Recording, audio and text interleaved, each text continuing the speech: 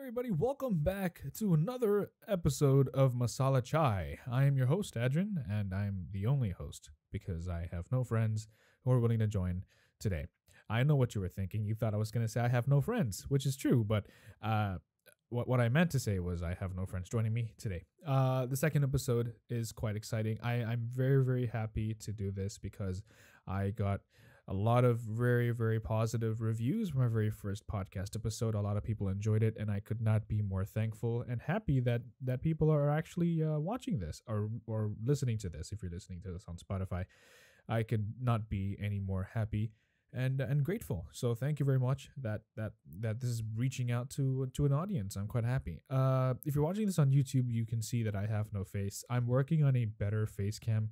I might use my camera, I might use my phone, but for now, uh, you won't be able to see me at all. So it's actually honestly better if you watch this on, uh, if you listen to this on Spotify, then rather than uh, listening to this on on YouTube. It's not going to be that different. Uh, Spotify is usually better with the audio enhancing and all that anyway. Uh, no compression. But pretty much, let's continue with our podcast today. Um, so last week we talked a bit about uh, um, about life in general. Uh, a question my cousin had, I had to address it to him, and uh, just about why I'm doing this. But today I'm going to be talking about my army life because uh, some people don't know this. People who are not really familiar with me personally, but I'm actually in the army in Singapore. I'm serving my country national service two years, and actually tomorrow is the uh, tomorrow marks the the very first year of my my service here. So honestly, I'm quite excited to, for tomorrow. It's a it's a mark, it's a milestone. Uh, 365 more days till I get out of this thing. I cannot wait. there is legit an application on on Google Play and and, uh, and Apple Store that's called ORD, which is officially relieved from duty, I think. And uh, that's pretty much when we get our uh, IC back, which is our identity card. And uh, once we're given it back, we're free from the army we can go and do whatever we like which i need to go and go to, i need to go to university because i'm a bit a bit a, bit behind everyone else uh, about about two years but i will be another year extra. I'll be like three years behind especially when i'm going to university in 2023 because my my ns will only end in november 2022 which is in the middle of the uh, start of the academic year usually in the us and uh, the uk so yeah that's that's just my my my sad, unfortunate uh, life. But uh, to be fair, guys, uh, everyone has their own path, and this is mine, and I've accepted it, and I am going to discuss with you what my life and my journey has been so far, celebrating this one year anniversary of living in miserable uh, army life. So it all started in uh, September, I think, September 2020. I have received my uh, my enlistment letter, they told me, "Yo, Adrin, we need you to pop by down to Singapore and just, you know, uh, we're gonna shave your head off. We're gonna give you some some army stuff, and now you're gonna be uh, a part of us." And so that's what that's what happened. Uh, actually, there's a quick backstory before what that happened. Actually, I was supposed to enlist a few months before uh, September. I enlisted November because that's when I was that was my intake. I was the last intake of 2020. But realistically speaking, I should have enlisted at around July or August, if I'm not wrong. Uh, I had a bit of a health issue, kind of a mix-up. Uh, honestly, I'm fine. I, I didn't have a health issue, except except the the um, the hospital kind of screwed up. Um, I wouldn't say screwed up. They they just really messed up. Yeah, uh, yeah, yeah. So they screwed up. Basically, what happened was we all had to go for a medical checkup before we enlist, just to see what what fitness we're at, uh, where where which vocation would would, best fit us depending on our fit, uh, fitness ability. So they'll do all the normal blood test, urine check, uh, urine test, um, eye, eye eye strength power test, um, X-rays, ECGs, all the normal normal stuff. And once they've done that, they'll give us this PES. A PES is just a, a status saying uh, how fit you are. And depending on the PES status, they'll put you in a specific vocation. Uh, so infantry, guards, uh, or whatever else. Like if there's a physical uh, physical work, or if it's like an admin job where you just sit down and do some paperwork and stuff like that. So there's a lot of that kind of stuff going around, and um, I was given a D at first, which is uh, pending because I apparently needed more testing. They tested my heart and they said, "Oh, this guy's heart, something's up. Uh, it's not normal." They thought I had some kind of uh, double double beating thingy. I'm not really sure. I'm not too uh, technical with the terms and all that, but essentially they said I had an issue with my heart, and uh, the ECG was all coming off weird. There were there were like double um, uh, palpitations. Yeah, so I was having palpitations apparently, and so they they extended my entire NS uh, enlistment by like four to five months, really. So pretty much I had to go back and forth from Indonesia to Singapore just to do the checkup, which was very, very frustrating. I think people can understand how expensive that is, especially because traveling and I can't travel alone because of COVID and all that.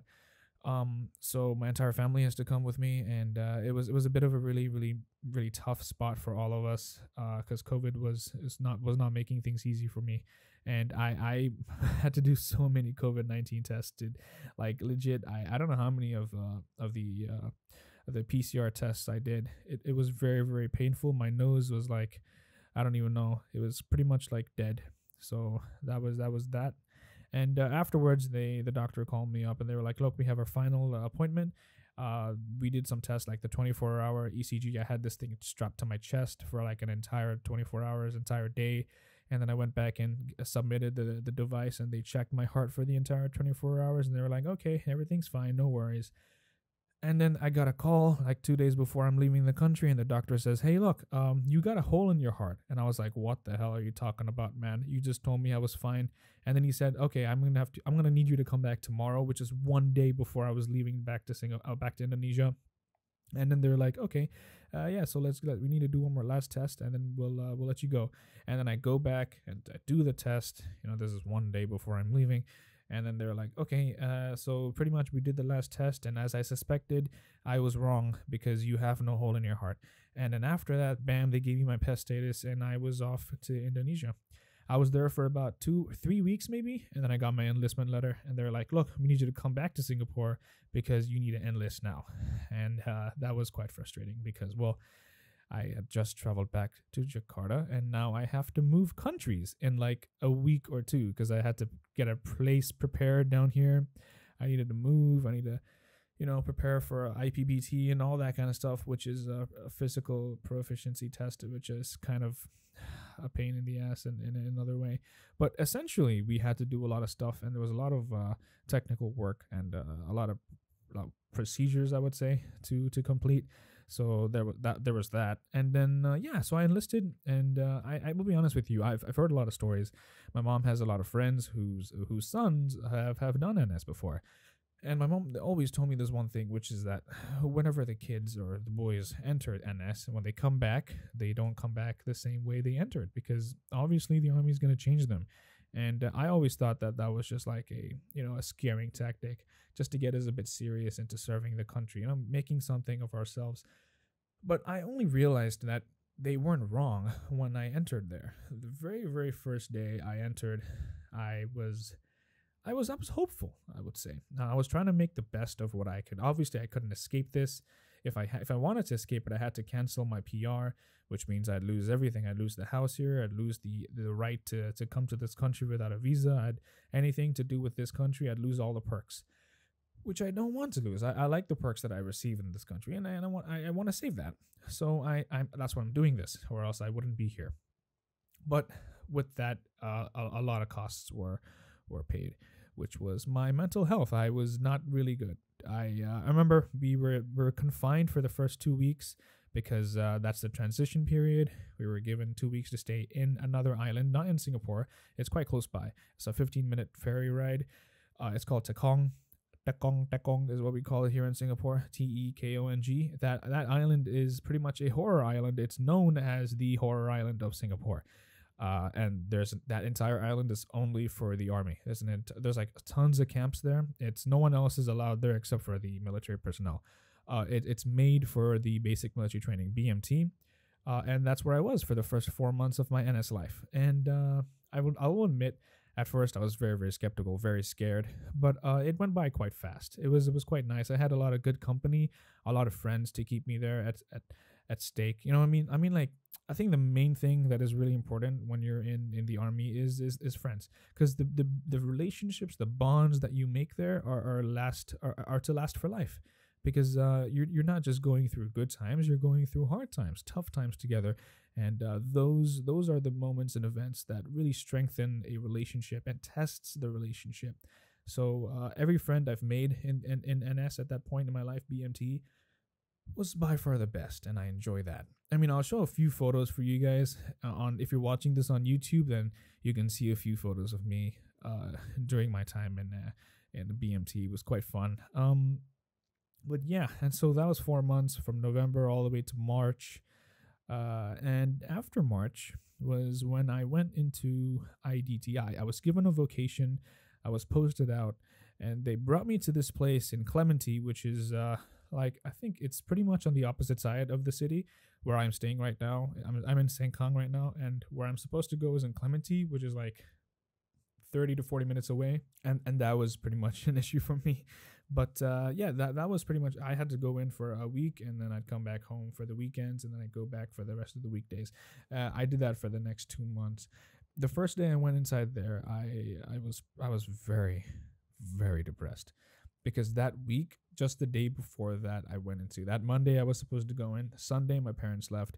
My family they went back to indonesia and i was alone in the country. For the first time in my life, I've never been alone. Uh, well, technically, I have when I went on school trips and stuff, but this was for a, a, a longer period of time because then it would just be five days, three days. But but this was for almost two months, two and a half and uh, it was quite it was quite tough tough for me. People might say, "Hey, you're kind of spoiled, man. What is this? You're not always going to be with your family." You're right, that's true. But uh, unlike most certain teenagers, I'll say most teenagers, they would like to stay away from their parents. But unlike them, I have a very strong relationship with my parents and my family. I'm very family oriented, and so for me, I I, I took it quite personally when, when they left. I, I was I was quite uh, I was quite broken, if you could say. I, I, I made it look like I was kind of strong. I shielded it up made it seem like I was okay, but but I really wasn't at first. I, I was struggling a lot, but I, to be honest, I also kind of enjoyed that freedom. But the issue with having too much freedom is you can lose control. And I tried my very best to keep myself in control and to keep myself responsible. And that's when I met a lot of my good good friends who are working with me right now up till today, and I'm so grateful that I met them. Uh, they are they're pretty much my buddies here in the, in the army right now, and I, I don't know where I'd be or what I'd be doing or the type of man I'd be if it wasn't for them. So uh, really, if you guys are listening, I know you are.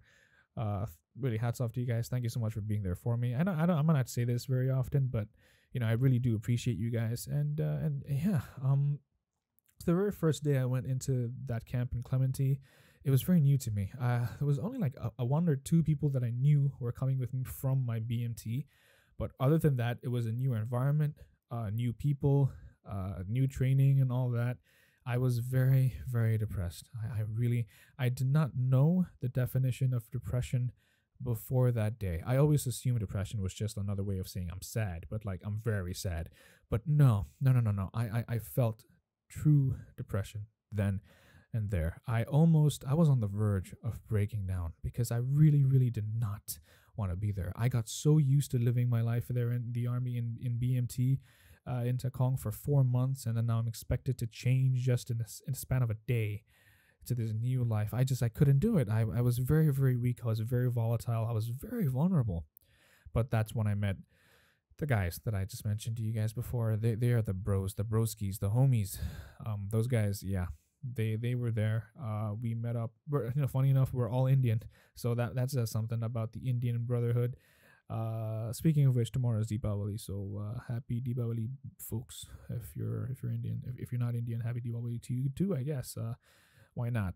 Uh, so yeah, I mean, once that first day was was through, that first week was literal hell for me. I didn't really make friends with anyone. I was quite secluded, which is not like me at all. I'm I'm the one who's really open. I'm the one who talks to people. I'm the one who like gets out there and starts making friends. That first week was very tough for me. Like I acknowledged people, but I never really like never went out with the intention to bond. I, I was quite I was really constricted to myself. But the start of that second week, I went home, I got a change of attitude. I talked to my parents on the phone, and then I was like, you know what? Here we are. I'm already here. There's nothing I can do to change it. Let me just make the best of it. And I and I did. People need to know. Why is he? Where was the nun? what is it? What is it? I'm not taking photos. Then onwards, those those two months were the best best two months of my life so far. Like especially the last month, we had this thing called IVT, Infantry Vocational Training, uh, where it was pretty much only Indians and Malays because all the Chinese people. No offense, it's not I'm not being racist, but this is the truth. Uh, we were all secluded and we were all put into the infantry, which is like the first line of defense, and all the Chinese people who were Singaporeans, who had a higher um, clearance.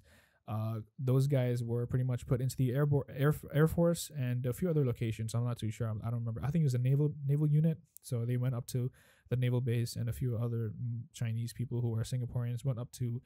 Uh, they went up to the air, air, air force, yeah, and the rest of them who who were PRs like me, permanent residents, and uh, the rest of them were all in the infantry uh, vocational training part. But that those three weeks were the most fun I've ever had. We were shooting guns, we were pr- practicing, having fun. We were doing fire movement. We were like, it's pretty much like playing Call of Duty, but then in real life. And uh, first we were just using blanks, and then afterwards we went to this uh, tra- uh, training range, shooting range, and then we actually shot real life rounds with with proper uh, proper you know bullets and stuff. You know, uh, those were really really fun. Um, those days I will never forget, and you know that was quite fun uh, th- those were some good times that I that I you know now look back and I'm like, damn, yeah, I wish I wish I relived those days. But it's actually just a few months away. I mean, it's November third now. That was around like April, May, I would say. Yeah, it wasn't even June. It was it was around April to May. Uh, th- th- those were the best best, best times. And uh, yeah, I really do miss really do miss those guys. I'm definitely gonna meet up with them once uh, this restriction all goes down. Uh, but yeah, I mean, right now I'm working at the. I, am at an airbase technically, but uh, I'm at a, I'm at a base next to the airbase. I'm I'm working where uh, a lot of ammunition is dealt with. So all the most important, there are like a lot of bunkers here like, filled with like uh, uh, RPG ammos, um, weapon ammos, and all that stuff. I don't want to reveal too much because technically this is like classified information but not the fact that this is an ammunition center because that's on Google already. But uh, the location and all, yeah, obviously uh, not revealed. I am a security trooper under the MP command, military police command. Um, so what I just what I do is pretty much just protect the camp. I uh, sit in a box and uh, with a gun and just uh, wait for people to come and leave, and whoever comes in, check their clearance, check their ID. Uh, if any threat comes in, then I'm gonna have to act accordingly. So I'm pretty much protecting the camp, uh, and it's not that not that exciting. It's kind of boring, really, because nothing happens. Like it's not it's not like every day you see someone come in and try to break into your camp. I really do hope they don't do that because that makes my job just that much harder. But if they do, then then I guess I have to do my my my work properly. But uh, yeah, that's pretty much what my life is like so far. The good thing is, I'm working three days and I get to go home for another three days. So this is a three in, three out situation, which pretty much pretty much just cuts down my entire two years into one year. If you think about it, I'm only working for half the time, and the other half I'm home. I have free time. I can work on myself and I can do stuff that that you know that that matters. Uh, no offense, I'm not saying NS doesn't matter, but to me, I don't feel like it. It you know it's gonna change my life some d- dr- dramatic and drastic way. Has it affected my life? Definitely. Has it made me a better person? Most definitely. But am I gonna do it again if I was ever, you know, given the choice to do it or not? I don't think so. I'd rather spend my time going to university and making something out of my life than uh, than stay here and. Uh, you know, just just wonder what I'd have been like if I went to university. You know what I mean? Yeah, that's that's what I feel like. But with that being said, that is pretty much the end of today's podcast because I talked about what I would talk about and I told you guys I'm going to talk about my army life and that this is what it is. This is what it is so far. I don't have any more stories. I will have more stories when I cross the next 1 year mark, which will be the end of my NS life. And then if this podcast season or uh, this entire thing I'm doing still exists. Hopefully it does because it's going well. Uh, then I will do an episode on that when it happens. But anyways, guys, thank you so much for listening to this on Spotify. Uh, if you're listening to this on Spotify, then yeah, do follow and uh, answer the poll in the in the bottom.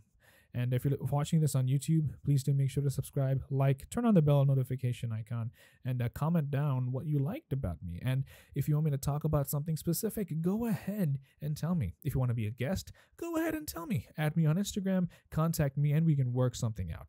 Anyway, guys, stay safe a happy Diwali to all my Indian folks, and have an amazing weekend. Santosh, good laugh. Okay, that is very good. Sugar yeah. uh, sir, how was the tea today? Nice. Sir, how was the tea today? Uh, above average. Above average. Thank you very much, sir. You can also leave my house right now.